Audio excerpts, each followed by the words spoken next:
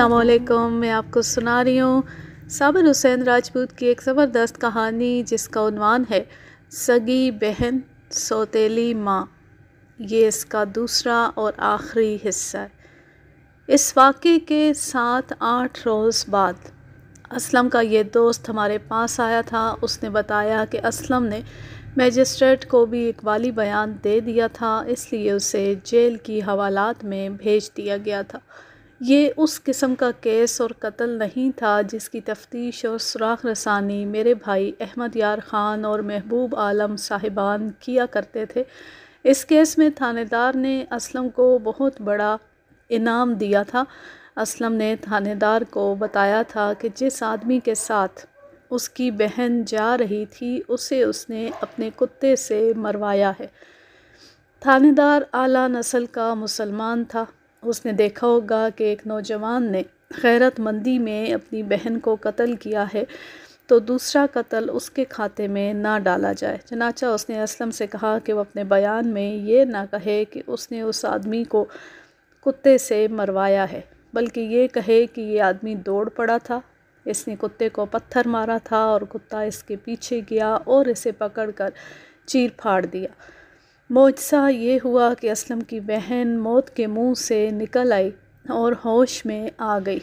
ये उससे एक रोज़ पहले की बात थी, जिस रोज़ असलम का दोस्त हमारे गाँव आया था। लड़की बयान देने के काबिल हो गई थी, थानेदार बयान लेने गया।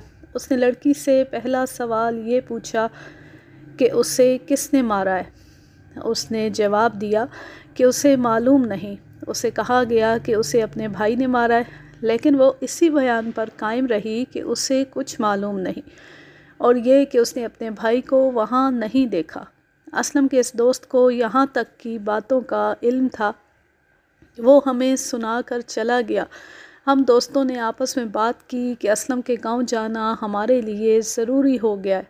असलम तो जेल में था उसके दोस्त गाँव में ही थे। उन्होंने हमारा इतना ख्याल रखा था कि इस लड़के को भेजकर हमें इत्तला दी थी कि हम शिकार के लिए ना आए। दो तीन दिनों बाद हम चले गए और इस वाक़े की कुछ और बातें मालूम हुई। इसके बाद भी हम वहाँ गए। मुकदमा चला तो हम उसकी दो पेशियों पर भी गए और असलम से मुलाकात हुई। वो हथकड़ी में था। वैसे भी ये वाक़ हमारी दिलचस्पी का था। हम मालूम हासिल करते रहे। मैं ये सब आपको सुनाता हूँ। ये बताने की ज़रूरत नहीं कि कौन सी बात हमें कहाँ से मालूम हुई।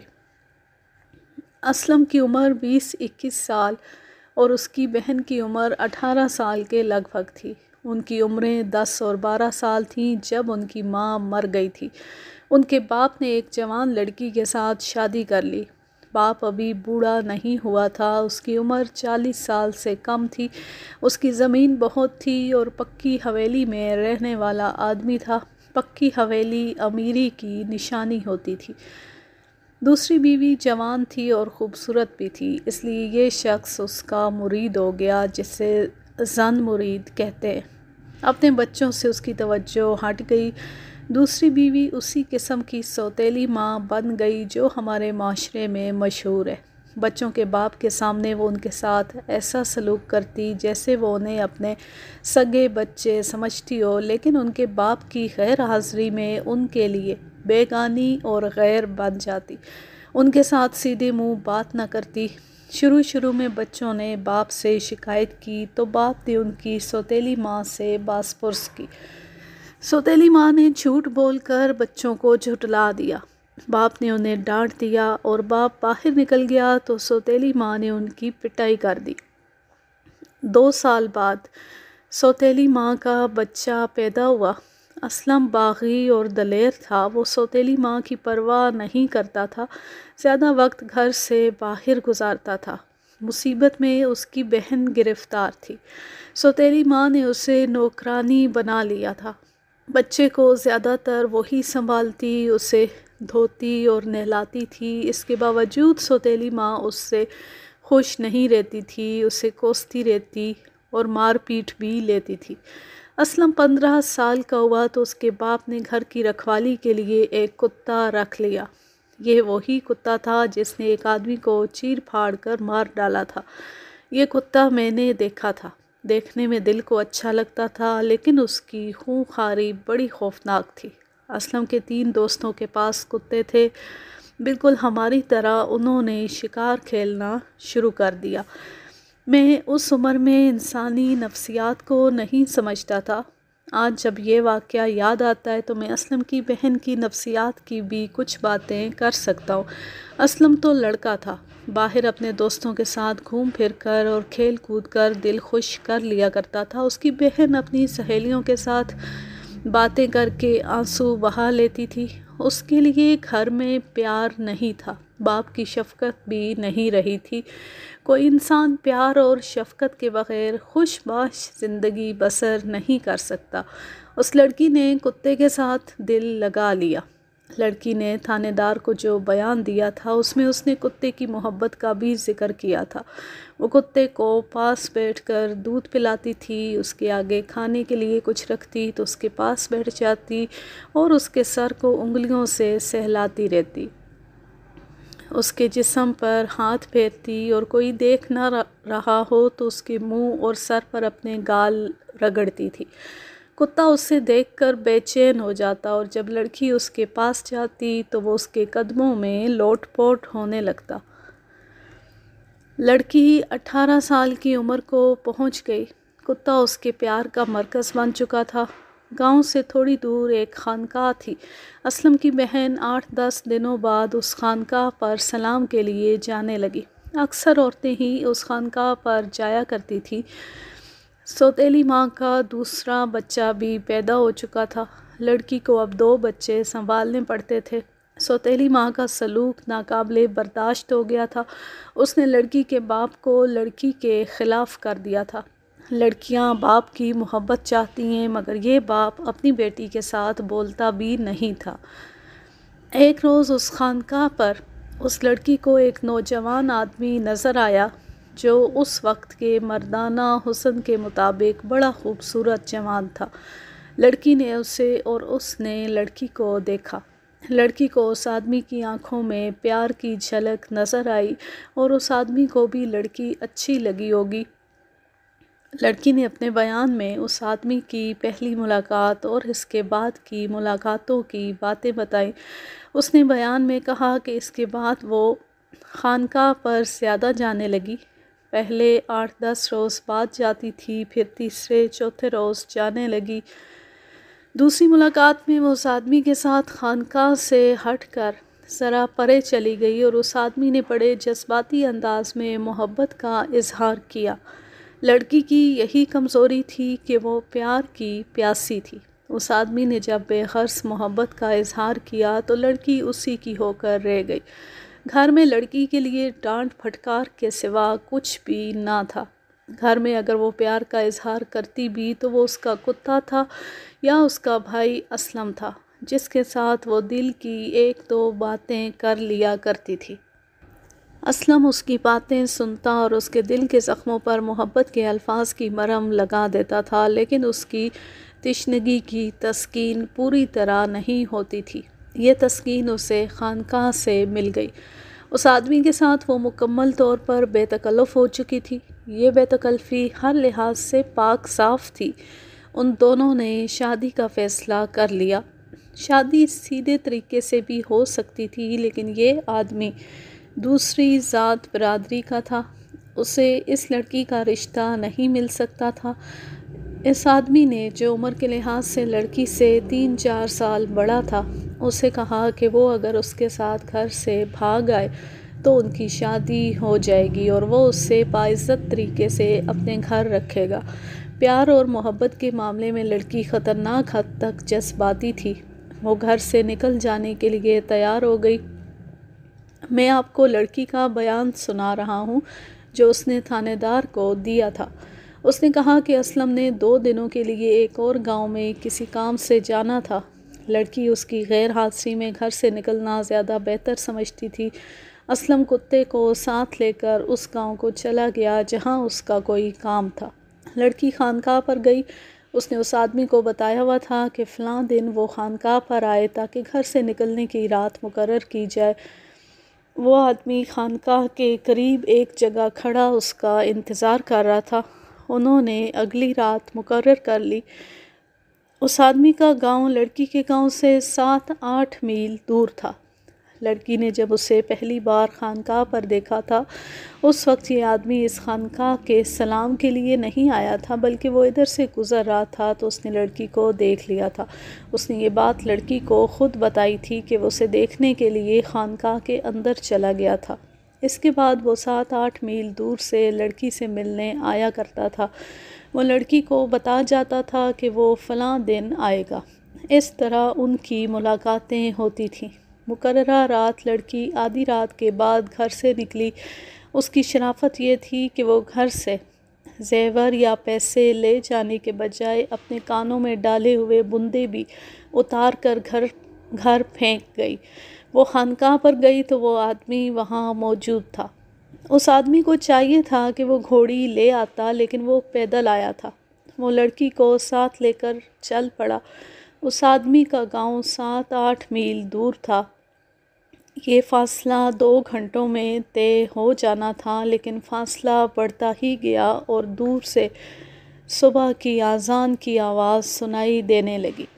लड़की ने महसूस किया कि उस आदमी ने उसे अपना जो गाँव बताया था, वो उसे उस तरफ़ नहीं ले जा रहा। उसने उस आदमी से पूछा कि वो किस तरफ़ जा रहा है? मैं तुम्हें अपने गाँव में नहीं ले जा रहा। पहले मैं तुम्हें अपने एक दोस्त के गाँव ले जाऊँगा। वो गाँव ज़्यादा दूर है। चार पाँच रोज़ बाद, चार पाँच रोज़ हम उस दोस्त के घर रहेंगे। निकाह भी वहीं पड़ा जाएगा और इसके बाद मैं तुम्हें अपने घर ले जाऊँगा। कुछ देर बाद सुबह तुलू होने लगी। दिन की रोशनी में आगे जाना ख़तरनाक था। उस आदमी ने कहा कि हो सकता है उनके ताकुब में आदमी आ रहे हों। इसलिए बेहतर यह है कि दिन कहीं छुप कर गुजारा जाए और रात को सफ़र किया जाए लड़की को उस पर भरोसा था, इसलिए वो उससे जो कुछ भी कहता, वो मान लेती थी। वो जिस इलाके में से गुज़र रहे थे, वो बिल्कुल वीरान और उजाड़ इलाका था। वहाँ लंबे चौड़े टीले थे, गलियों जैसी गहराइयाँ थीं, छोटे बड़े खड भी थे, दरख्त भी खासे ज़्यादा थे। छुपने के लिए ये इलाका बड़ा अच्छा था। वो टीलों के अंदर चले गए। एक बड़ा चौड़ा टीला जो दीवार की मानद था, नीचे से इस तरह फटा हुआ था कि एक खो बनी हुई थी, जो कुछ दूर अंदर तक चली गई थी। उसकी चौड़ाई और ऊंचाई भी ज़्यादा थी। वो उसमें बैठ गए। लड़की ने अपने बयान में कहा कि यहाँ आकर उसे साफ़ तौर पर महसूस हो रहा था कि वो आदमी इतना काबिल एतबार नहीं, जितना वो लड़की उसे समझती रही थी। ये उसने इसलिए महसूस किया कि उस आदमी ने उसे कहा कि तुम अपने साथ एक पैसा भी नहीं लाई और जेवर भी तुम्हारे पास नहीं है। लड़की ने उसे बताया कि वो उस घर का एक पैसा भी अपने ऊपर हराम समझती है, जिस घर में उसके लिए मोहब्बत के बजाय लानते थी। लड़की की ये बात उस आदमी को अच्छी ना लगी। उसने कुछ ऐसी बातें की जो लड़की को अच्छी ना लगी। फिर उस आदमी ने लड़की के साथ कुछ और ही तरह की छेड़छाड़ शुरू कर दी। इससे पहले लड़की इस आदमी से कई बार मिली थी। इस आदमी ने ऐसी हरकत पहले कभी नहीं की थी। इस खो में आकर उसने लड़की पर बाकायदा दस तराजी शुरू कर दी। पहले निकाह होगा। निकाह के बगैर मैं तुम्हें अपने जिस्म को इस तरह छेड़ने नहीं दूँगी, जिस तरह की छेड़छाड़ तुमने शुरू कर दी है। निकाह तो हो ही जाएगा। तुम इस नीयत से घर से निकली हो कि मेरी बीवी बनोगी। नीयत हो गई तो निकाह भी हो गया। इस बात पर लड़की बिगड़ गई। लेकिन ये आदमी कोई बद अखलाक और बद नीयत था। उसने अपनी बेहूदगी जारी रखी। लड़की ने पूरी मजामत की और खो से बाहर निकल आई। कहने लगी कि मैं ना तुम्हारे साथ जाऊँगी, ना अपने घर जाऊँगी। किसी कुएँ में कूद कर मर जाऊँगी। वो आदमी उसे पकड़ने को बाहर आया, लेकिन लड़की उसके हाथ नहीं आ रही थी। वो रोती थी और उस आदमी को धोखाबाजी और बेवफाई के ताने देती थी। वो आदमी उसे रोकने की कोशिश कर रहा था और लड़की आगे ही आगे चली जा रही थी। वो टीलों के दरमियान गेरी जगह पर थे, इसलिए उन्हें कोई देख नहीं सकता था। ये आदमी लड़की की मिन्नत समाजत करने लगा कि वो उसे माफ़ कर दे। उन्हें एक कुत्ते के भौंकने की आवाज़ सुनाई दी, खुदा के लिए रुक जाओ आदमी ने लड़की से कहा, इस कुत्ते के साथ आदमी भी होंगे। आदमी ज़्यादा हुए तो मैं अकेला तुम्हें उनसे बचा नहीं सकूँगा। लड़की डर गई और रुक गई। कुत्ता उन्हें नज़र नहीं आ रहा था। ये आदमी उसे ये कहकर एक तरफ़ ले गया कि आगे बरसाती नाला है, उधर से हम आगे निकल जाएँगे। टीलों में से होते हुए वो एक घाटी चढ़े और दूसरी तरफ़ उतर गए। आगे वो बरसाती नाला था जिसका मैंने पहले ज़िक्र किया है। जब वो बरसाती नाले में उतरे तो उसमें किनारे के साथ साथ बहुत थोड़ा थोड़ा पानी था। वो नाले में पहुँचे थे कि पीछे पीछे कुत्ता भी उन तक पहुँच गया। लड़की ये देखकर हैरान रह गई कि ये उसका अपना कुत्ता था। कुत्ता कभी उसके कदमों में लोट पोट होता और कभी अगली टांगे उठाकर पंजे उसके साथ लगाता। उस कुत्ते को लड़की के साथ बहुत ही प्यार था। ये मेरा कुत्ता है, लड़की ने अपने साथी को बताया। ये यहाँ किस तरह पहुँच गया है? मेरा भाई इसे एक गाँव ले गया था, वो वापस आ रहा होगा। मेरा भाई कहीं करीब ही होगा। बताओ क्या करे? वो कुत्ते को ढूंढता इधर आ निकलेगा। इसे यहाँ से भगाओ। हटो, मैं इसे पत्थर मारता हूँ, ये भाग जाएगा। उसने दो तीन पत्थर उठा लिए। नहीं, लड़की ने कुत्ते के आगे होकर कहा, कुत्ते को पत्थर ना मारना। लड़की को कुत्ते के साथ इतना ज़्यादा प्यार था कि वो बर्दाश्त नहीं कर सकती थी कि कुत्ते को कोई मारे। प्यार के मामले में वो इतनी ही ज़्यादा जज्बाती थी। उसने ये भी ना देखा कि वो किस जगह खड़ी है और उसके साथ एक खैर मर्द है और अगर उसका भाई आ गया तो उसे वो क्या जवाब देगी? लड़की के बयान से ये ज़ाहिर होता था कि उसका साथी बहुत ही घबराया हुआ था। उसने लड़की को धक्का देकर एक तरफ़ किया और लड़की जब गिरी तो उस आदमी ने ज़रा पीछे हटकर कुत्ते को पत्थर मारा, जो कुत्ते की टांग पर लगा। पत्थर नोकीला होगा, जिससे कुत्ते की टांग से खून निकल आया। कुत्ता जवाबी हमले के लिए उस आदमी की तरफ़ लपका। लड़की ने दौड़कर कुत्ते का पट्टा पकड़ लिया और उसे पुचकार कर ठंडा कर दिया। तुम यहाँ खड़ी रहो। उस आदमी ने लड़की से कहा, मैं तुम्हारे बग़ैर चला जाऊँगा। और वो वहाँ से चल पड़ा। लड़की ने उसे पुकारा कि वो उसे अकेला छोड़कर ना जाए। वो आदमी रुका, मेरे साथ चलना है तो कुत्ते को छोड़ दो, मैं इसे पत्थर मारकर भगा दूँगा। नहीं, मैं कुत्ते को मारने नहीं दूँगी। उनमें थोड़ी देर तकरार हुई और वो आदमी जो लड़की की मोहब्बत का दावेदार था, उसे अकेला छोड़कर चल पड़ा। लड़की देख चुकी थी कि यह आदमी ठीक नीयत और इरादे वाला नहीं। लड़की का जहन पहले ही नॉर्मल नहीं था, वो गुस्से में आ गई। उसने कुत्ते को उस आदमी की तरफ़ करके थपकी दी और इस तरह ललकारा जिस तरह कुत्ते को शिकार पर छोड़ा जाता है। कुत्ता पहले ही उस आदमी पर हुर्रा रहा था क्योंकि उसने उसे पत्थर मारा था। लड़की का इशारा मिलती वो उस आदमी के पीछे दौड़ पड़ा। आदमी उससे कुछ दूर था। उसने एक हिमाकत ये की कि कुत्ते को एक बार फिर पत्थर मारा। ये पत्थर इस तरह लगा कि पहले पत्थर ज़मीन पर गिरा और वहाँ से उछल कर कुत्ते के पेट में लगा। उस आदमी ने दूसरी हिमाकत ये की कि दौड़ पड़ा। कुत्ते के आगे दौड़ना नहीं चाहिए। कुत्ता तेज़ था और खूहार भी। थोड़ी दूर जाकर उसने उस आदमी को पकड़ लिया और उछल उछल कर उसे पंचे मारने लगा। एन उस वक्त असलम अपने दोस्तों के साथ वहाँ पहुँच गया। ये तो आप समझ गए होंगे कि असलम अपने दोस्तों के साथ वापस आ रहा था। मैं आपको पहले सुना चुका हूँ कि असलम ने कुत्ते को खुला छोड़ा हुआ था और कुत्ता कहीं गायब हो गया था। फिर उन्हें कुत्ते के हुर्राने और भौंकने की आवाज़ें सुनाई दी, लेकिन उन्होंने ये समझकर तवज्जो नहीं दी थी कि कुत्ते ने कुछ देख लिया होगा। मेरी उम्र चूँकि कुत्तों के साथ गुजरी है, इसलिए मैं ये बात वसूख से कहता हूँ कि कुत्ता अपने मालिक की मुश्क बड़ी दूर से ले लेता है।